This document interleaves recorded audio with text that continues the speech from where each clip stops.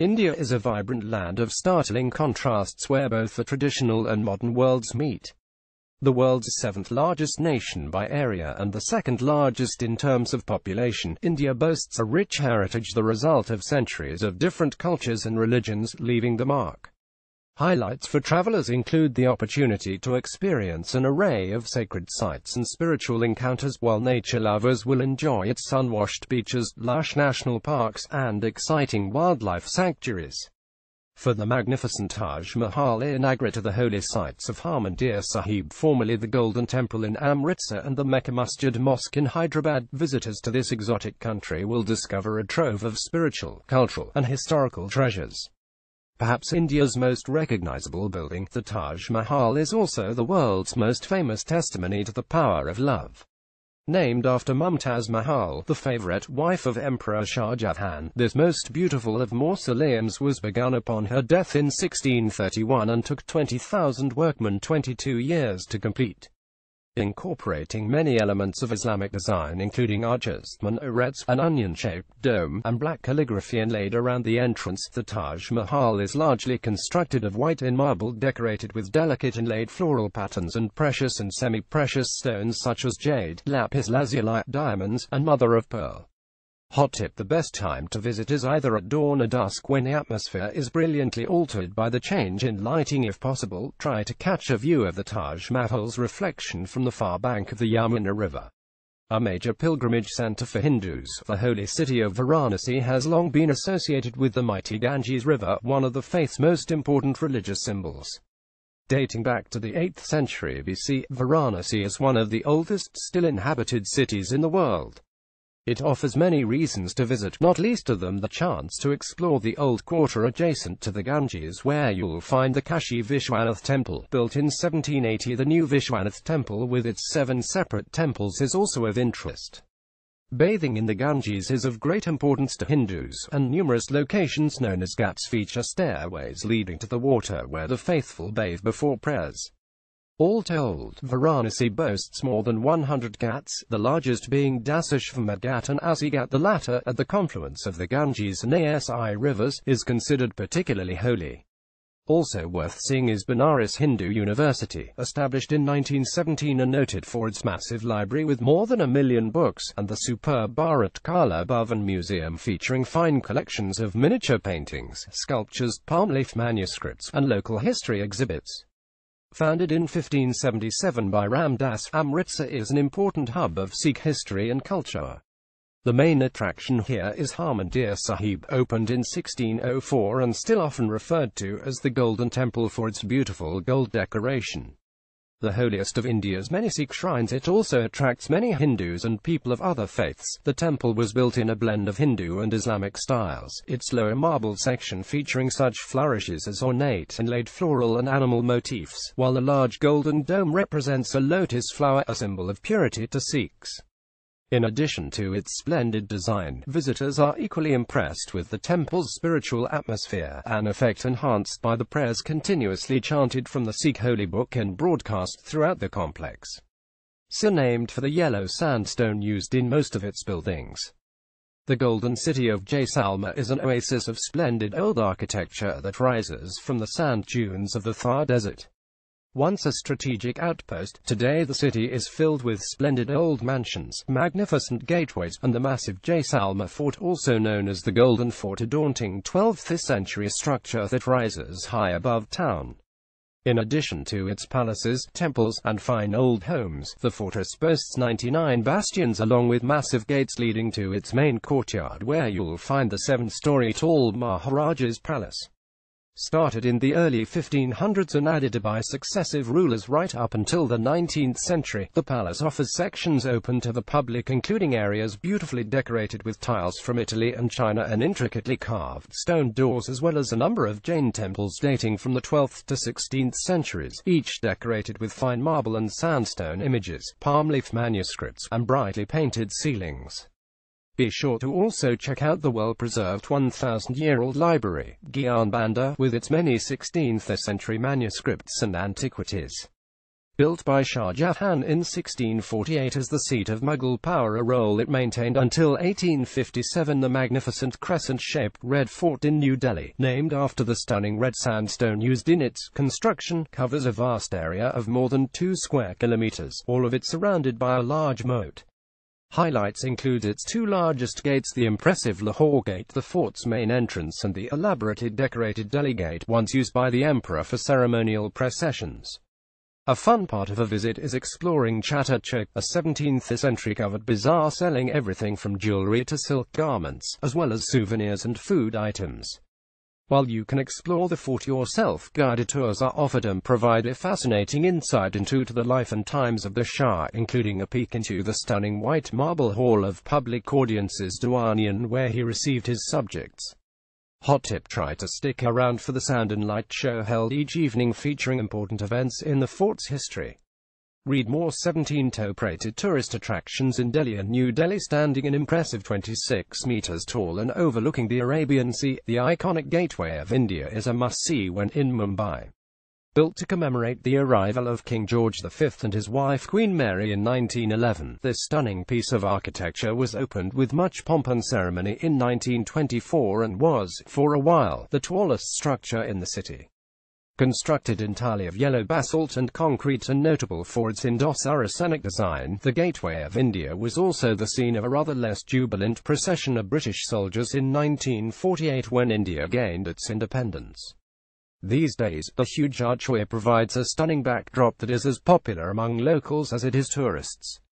Hot tip after visiting the Gateway of India, pop over to the adjacent Taj Mahal Palace and Tower for a delectable high tea, a tradition since this lovely luxury hotel opened in 1903. Construction of Hyderabad's Mecca Masjid, one of the world's largest mosques and one of the oldest in India began in 1614 during Muhammad Quli Qutub Shah's reign and took almost 80 years to complete. Large enough to accommodate 10,000 worshippers, this beautiful mosque's 15 enormous arches and pillars were each wrought from single slabs of black granite dragged to the site by huge cattle trains reputedly consisting of up to 1,400 bulls taking its name from the bricks above the central gate that were brought here from Mecca. This impressive complex features highlights such as its main gateway, huge plaza, a large man-made pond, and a room that houses the hair of Prophet Muhammad. Other notable features include inscriptions from the Quran above many of the arches and doors, the exquisite roof of the main hall, the cornices around the entire mosque structure, and the floral motifs and friezes over the arches. Amber Fort, often also spelt Amber, was built as a fortified palace in 1592 by Maharaja Man Singh and has long served as the capital of Jaipur. Carved high up into the hillside, the fort is accessible on foot via a steep climb or by shuttle rides from the town below. Better still, let an elephant do the work. Highlights include Jalab the first courtyard, with its many decorated elephants, and the Sheela Devi temple, dedicated to the goddess of war. Also of note is the adjoining Hall of Public Audience Diwan with its finely decorated walls and terrace frequented by monkeys. Other highlights include Sukhniwas the Hall of Pleasure with its many flower beds and a channel once used to carry cooling water, and the Temple of Victory Jai Mandir, notable for its many decorative panels, colorful ceilings, and excellent views over the palace and the lake below. Just above Amber Fort is Jaigarh Fort, built in 1726 by Jai Singh and featuring tall lookout towers, formidable walls, and the world's largest wheeled cannon. Be sure to also spend time wandering the walled old city of Jaipur with its three fully restored gates and splendid bazaars, as well as the delightful city palace, a massive complex of courtyards, gardens, and buildings. Long known within India as the go-to destination for those seeking a great beach holiday, Goa's beautiful western coastline, overlooking the Arabian Sea, has only recently been discovered by tourists from overseas. Goa's more than 60 miles of beautiful coastline is home to some of the world's loveliest beaches, each with their own particular appeal. For those looking for peace and quiet, isolated Agonda Beach is a good choice, while Calangute Beach is by far the most commercial and crowded. For those in search of posh resorts, yoga getaways, and spa vacations, the beaches of Mandrem, Morjim, and Ashwem are fashionable among wealthy Indians and Westerners alike. Palolem is another popular option in a beautiful setting. While in Goa, be sure to visit the Bhagwan Mahavir Wildlife Sanctuary, home to thick forests and plenty of fauna, including deer, monkeys, elephants, leopards, tigers, and black panthers as well as India's famous king cobras and some 200 species of birds. Also worth a visit is Divar Island, accessed by ferry from Old Goa.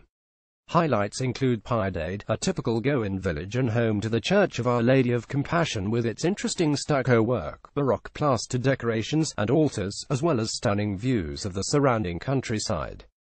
One of South India's most popular tourist attractions, Periyar National Park and Wildlife Sanctuary is centered around a lake built by British engineers in 1895 for irrigation and to provide water to the city of Madurai.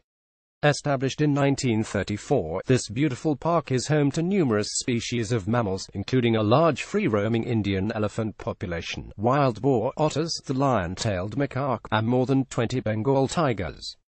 Bird watching is a popular activity with frequent sightings of species such as darters, storks, kingfishers, hornbills, and racket-tailed drongos, along with many interesting varieties of butterflies. The best ways to enjoy the park's splendid mountain scenery are to take a lake cruiser guided jungle walk, the latter allowing visitors a chance to come face to face with elephant herds and observe other wildlife from watchtowers and viewing platforms. Hot tip be sure to stop at one of the many nearby spice, tea, or coffee plantations for a tour built as a military structure in 1565 by Emperor Akbar with later additions by Shah Jahan. The stunning Agra Fort also known as Agra's Red Fort is an interesting mix of both Hindu and Muslim influences.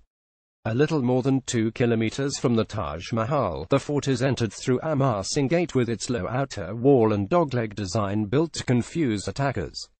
Once inside, you'll see two large interlinked sandstone buildings, Akbari Mahal and Jahangiri Mahal, the largest private residence in the complex.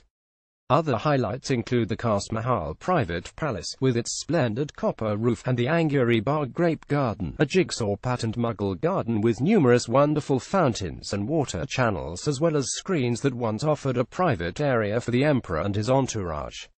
Also of note is the octagonal Musamman Burj Tower, which later served as Shah Jahan's prison until his death. The famous monumental Ellora caves were built between the 5th and 10th centuries by Buddhist, Jain, and Hindu monks, and make for an excellent excursion from Mumbai, some 300 kilometers to the west. Now a UNESCO World Heritage Site, this remarkable collection of 34 carved monasteries, chapels, and temples 12 of them Buddhist, 17 Hindu, and 5 belonging to the Jain faith were built in close proximity to each other, a reflection of the religious tolerance that existed during this period of Indian history. Of the Buddhist monastery caves, highlights include a number of shrines featuring carvings of Buddha and saints dating from the 5th to 7th centuries, as well as the stunning Carpenter's Cave, considered one of the finest in India. The Hindu caves are much more complex and were carved from the top down, so scaffolding was not necessary. Of these, the best is the Kailasha Temple, an enormous rock-cut temple representing Mount Kailasha and requiring the removal of 200,000 tons of rock. Dominating the old city of Jodhpur, the massive Mehrangarh Fort, one of the largest fortifications in India, was built in the 15th century to safeguard the people of the famous Blue City, as Jodhpur is still known it's so named for its indigo-colored houses, painted blue to deflect the heat. Built on top of a towering outcrop, Mehrangarh is an amazing feat of construction, its massive walls all but impenetrable. Access is via one of seven splendid gates, including Jayapol and Fatehpol. The latter still bears scars from cannon attacks.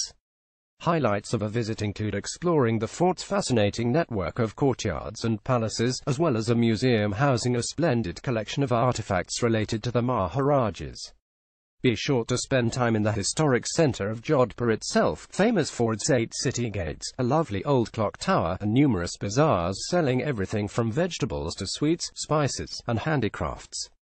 The sprawling city of Mysore is a delight to explore thanks to its eclectic mix of fine old colonial architecture, regal Indian palaces and lush, well-manicured gardens while those inclined towards shopping will enjoy spending time in the city's famous silk and sandalwood bazaars. The main attraction is magnificent Mysore Palace.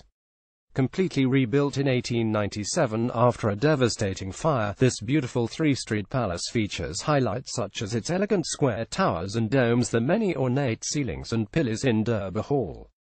And the splendid marriage pavilion, with its glazed floor tiles, stunning stained glass artworks, and displays of jewelry. It's also where, on special occasions, the exquisite golden throne is exhibited. For a real treat, be sure to catch one of the splendid light displays held each Sunday and during holidays when the palace is illuminated by more than 90,000 lights. Hot tip A fun way to explore the palace's massive grounds and gardens is as part of a cycle tour, available free once inside. Bodh Gaya, considered the world's holiest Buddhist site, attracts thousands of visitors each year, all drawn to participate with the resident monks in meditation and prayer. The focal point of this place of pilgrimage is stunning Mahabodhi temple, built next to the very spot where Buddha came to enlightenment and formulated his philosophy on life. Constructed in the 6th century and restored numerous times since, the temple is topped with a beautiful pyramidal spire and houses a large gilded statue of Buddha. Also of interest is the site's pipal tree, a descendant of the original Bodhi tree where Buddha meditated for seven days after the Enlightenment, said to be among the oldest and most venerated trees in the world. You'll know you've found it when you spot the red sandstone slab marking the spot. Hotels where to stay in New Delhi